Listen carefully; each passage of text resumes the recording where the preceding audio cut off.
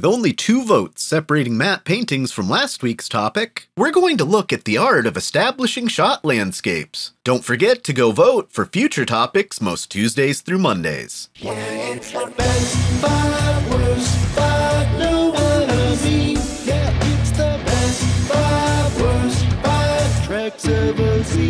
Sometimes you need a background, and sometimes you need an establishing shot of an alien landscape. This is where matte paintings used to play a big role in Star Trek before CGI became good enough looking and cost economical. Sometimes painted on big canvas, and sometimes painted on glass and backlit. These bits of art adorned Trek from the first episodes of TOS till the sixth season of Voyager. And as usual, we're going to start the discussion at fifth worst 30 Minute Monastery. Our first outing to the home of Klingon time crystals and the prophesized point of return for Kahless, Boreth, gives the impression that this matte painting was rushed and painted by someone following a half hour Bob Ross video. Being that this is the latter seasons of TNG, there's no excuse for how unrealistic it is. Number 4. Too Big to Hide. One of many things that just don't work in the motion picture, and actually looks worse as things like 4K director's cuts keep showing it in higher def, is the matte painting of the Golden Gate Bridge set against the foreground of a hangar in Starfleet headquarters. It's really obvious, and the general compositing of multiple pieces takes you right out of this already snooze fest of a movie. The clouds are the worst part, and it really doesn't work against such a big, living, breathing foreground. Number 3. Pilot Paintings. The Caretaker just kind of takes the prize for worst collection of matte paintings in the franchise. After the opening credits, the first thing we see is a half-assed matte painting of New Zealand that has never looked right to me. While the Ocampa Underground is actually okay as far as Trek matte paintings go, the Kazon settlement painting in the desert is another terribly out of place set piece. This is what you get when you spend more in the budget for Kate Mulgrew's hair than for special effects in a pilot episode.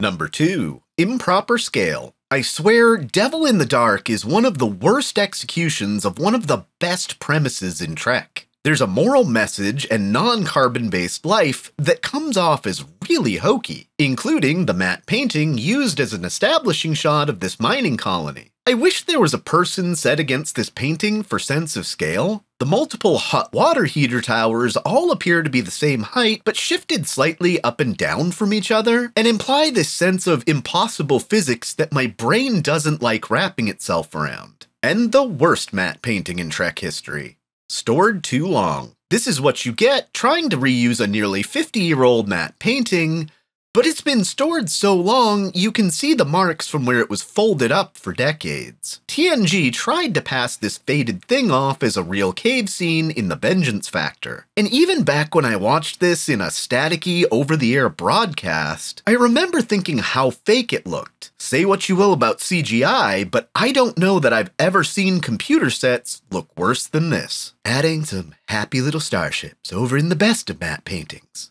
Number 5 only thing going for it. I never thought I'd say this, but in the top five, Code of Honor. After kidnapping Tasha Yar, the establishing shot of a temple on the planet Ligon 2 is actually really decent, especially considering that this is the third episode of an 80s series. People and real set pieces set inside the temple entrance area really sell this. If you look at the cityscape and mountains in the distance, it becomes pretty obvious it's a painting. But drawing your gaze into the temple is one of the single things that works in this bottom of the barrel overall episode. Number 4. City of the Devil. Ventax 2 is shown to us on one of its worst days in a thousand years. But its landscape painting with imposed scared population is a fabulous way to establish both the beauty and hysterical situation as the people think Man Bear Pig has come back to collect on its thousand year old contract. Interesting pyramid architecture that speaks to these people's philosophy of simple agrarian, yet scientifically driven, warp capable society. Given that it's just paint on glass, this scene feels lived in. Number 3. What's inside? When the Enterprise D is accidentally pulled inside a Dyson sphere, there's not only a beautifully laid out curved matte painting showing artificial waterways and sweeping halo like landscapes, but an overall well composited shot with clouds, Enterprise, and tractor beams that are quite seamless. This is definitely one of the most ambitious paintings in Trek history. Number 2. Klingon architecture. There's something ominously perfect about our first look at the first city of Kronos. The Great Hall and familial Klingon houses are well represented in our first look at the homeworld of this warrior race. It's dark and foreboding, yet functional as a city. This feels like the most distinctly Star Trek matte painting that could never be used for another production. The best matte painting in Trek? Number 1. Final Evolution. Voyager's sixth season, Blink of an Eye, brings the end of an era, as the last use of a matte painting to date in the franchise. To punch up the final use of this dying art form, this painting depicts the societal advancements of an out of phase with the rest of the galaxy race over what would be thousands of years. The painting changes and gets added to through the run as this race goes from Stone Age to spacefaring. It's fitting that this beautiful evolving matte painting closed out a more than 30 year run of these oversized art pieces. What's your favorite matte painting in Trek?